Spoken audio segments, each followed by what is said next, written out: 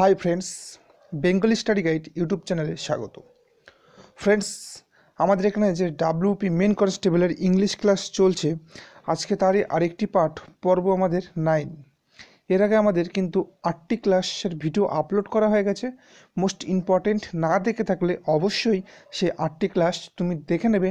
সব থেকে ভালো প্রস্তুতি পেতে ডাব্লিউপি মেন কনস্টেবলের ইংলিশ থেকে। অবশ্যই সেই ভিডিওগুলো তোমার অনেক হেল্পফুল হবে। তো আজকে কিন্তু আমাদের অ্যাপ্রোপ্রিয়েট প্রিপোজিশন থেকে পর্ব নাইন সমস্ত অ্যাপ্রোপ্রিয়েট প্রিপোজিশনগুলো তোমাদের উদাহরণ সমেত বুঝিয়ে দেবো এবং মনে রাখতে পারবে খুব সহজে এবং খুব ইম্পর্টেন্ট এইগুলোই কিন্তু পরীক্ষায় আসতে চলেছে। তো অ্যাপ্রোপ্রিয়েট প্রিপোজিশন কিন্তু একটি থেকে দুটি অবশ্যই তোমরা পাবে। তোমাদের পঁচিশটি ইংলিশ কোশ্চেনের মধ্যে তো অবশ্যই আজকের অ্যাপ্রোপ্রিয়েট প্রিপোজিশন ক্লাসটা মন দিয়ে করো এবং ভালো লাগলে লাইক শেয়ার ও কমেন্ট অবশ্যই করো। আর এর পরবর্তী ভিডিও কী বিষয়ে প্রয়োজন সেটা অবশ্যই কমেন্টের মাধ্যমে জানাতে ভুলবে না।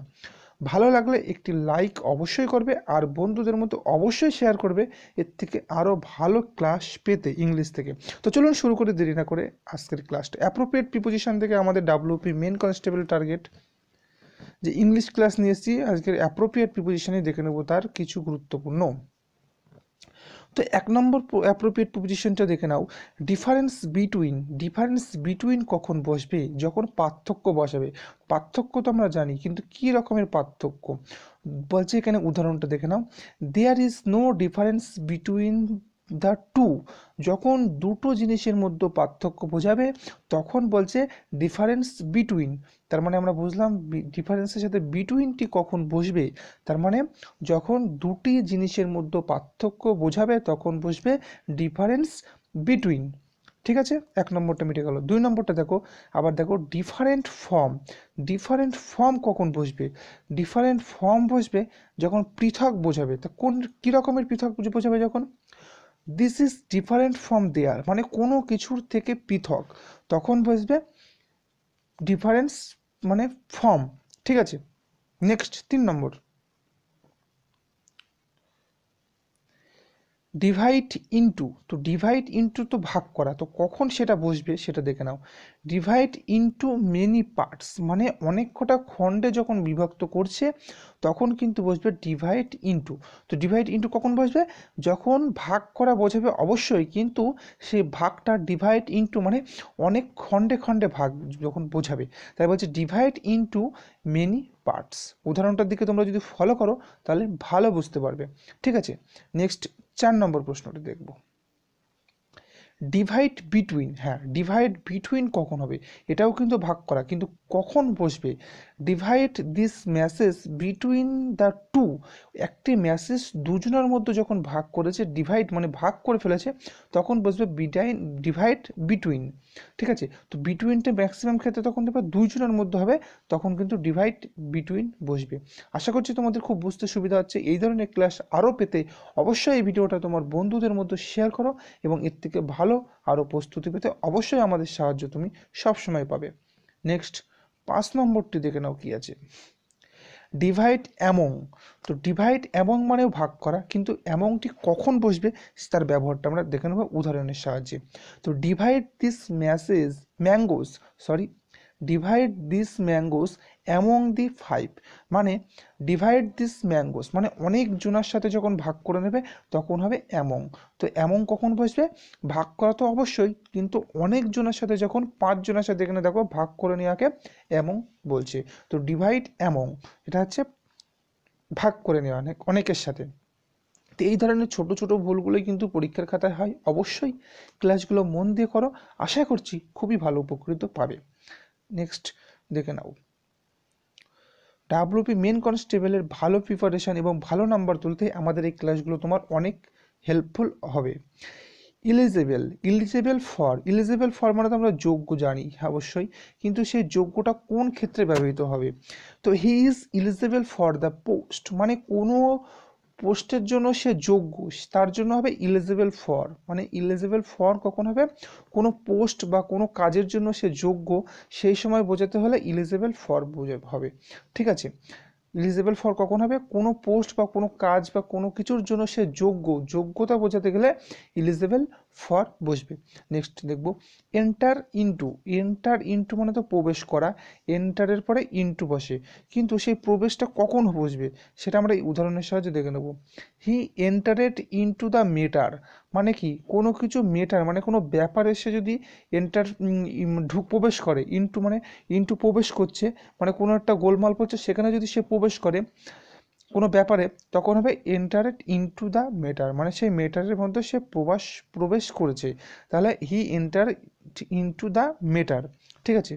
নেক্সট দেখে নেব এক্সচেঞ্জ উইথ মানে এক্সচেঞ্জ উইথ মানে বিনিময় করা। আমরা উদাহরণের সাহায্যে দেখে নেব, কখন এই এক্সচেঞ্জের সাথে উইথ বসবে এক্সচেঞ্জ এর সাথে উইথ বসবে। তো you should exchange your book with others তোমার বইটা যখন অন্যের সাথে অদল বদল মানে বিনিময় করলে, তখন বসবে এক্সচেঞ্জ উইথ ঠিক আছে? এক্সচেঞ্জ উইথ মানে নিজের বইটা অন্যদের সাথে অদল বদল করা হচ্ছে এক্সচেঞ্জ উইথ বসবে। নেক্সট দেখব, নয় নম্বর, আশা করছি তোমাদের বুঝতে কোনো অসুবিধা হচ্ছে না। এইভাবে যদি একবার দেখে রাখো, আশা করছি অনেক দিন পর্যন্ত মনে রাখতে পারবে এবং পরীক্ষার খাতায়ও করতে সুবিধা হবে। নেক্সট ফেথফুল টু তো ফেথফুল টু মানে হচ্ছে বিশ্বস্ত। এবার এর ব্যবহারটা দেখে নেব, কোথায় যখন ফেথফুলের সাথে টু বসবে? তো dog is faithful to its master তো বলছে dog is faithful to its master মানে কুকুর তার মালিকের প্রতি বিশ্বস্ত। যখন বলবে কুকুর তার মালিকের প্রতি বিশ্বস্ত, এমন একটা কোনো কিছু বোঝাবে, তখন ফেথফুলের সাথে টু বসবে। নেক্সট দশ নম্বরটি দেখে নেব। ফ্রি ফর্ম মানে কি? যুক্ত হওয়া। ফ্রি ফর্ম মানে হচ্ছে মুক্ত হওয়া। সরি ফ্রি ফর্ম মানে মুক্ত হওয়া। She is now free from danger মানে কোনো কিছু ভয়ঙ্কর বা কোনো কিছু বিপদ থেকে সে মুক্ত পেয়েছে।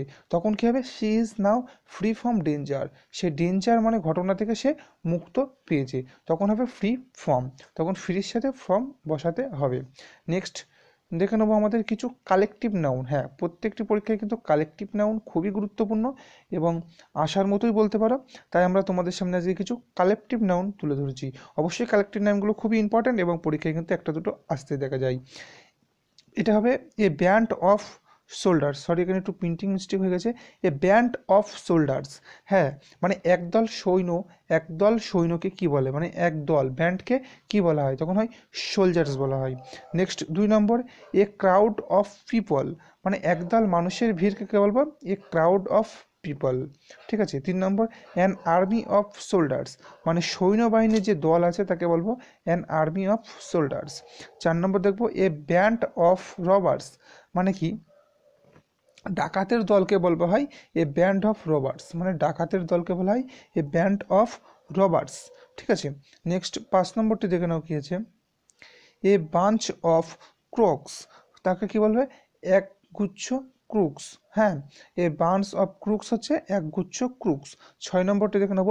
A class of students a class of students হচ্ছে এক শ্রেণির শিক্ষার্থী, তাকে বলব এ ক্লাস অফ স্টুডেন্টস সাত নম্বরটি দেখো এ কোম্পানি অফ অ্যাক্টরস মানে কি? অভিনেতাদের একটি সংস্থা বা একগুচ্ছ অভিনেতা বা একদল অভিনেতাকে বলব এ কোম্পানি অফ অ্যাক্টরস দেখে আট number a company of soldiers মানে কি?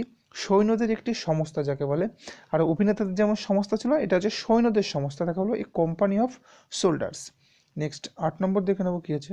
নয় নম্বর এ গ্যালাক্সি অফ ফিল্ম মানে এ গ্যালাক্সি অফ ফিল্ম তাকে বলব একদল ফিল্মদের দল, ফিল্ম ফিল্ম তারকাদের দল এই গ্যালাক্সি অফ ফিল্ম মানে ফিল্ম তারকাদের একটি দলকে বলছে এই গ্যালাক্সি অফ ফিল্ম তার মানে ফিল্মদের একদল তারকাকে বলা হয় galaxy galaxy of film next O last কোশ্চেনটি দেখব এ গ্রুপ অফ সিঙ্গার মানে একদল গায়ককে বলা হবে এ গ্রুপ অফ সিঙ্গার ঠিক আছে? তো কালেকটিভ নাউনও কিন্তু খুব ইম্পর্টেন্ট পরীক্ষায় কিন্তু একটা দুটো আসতে দেখা যায়।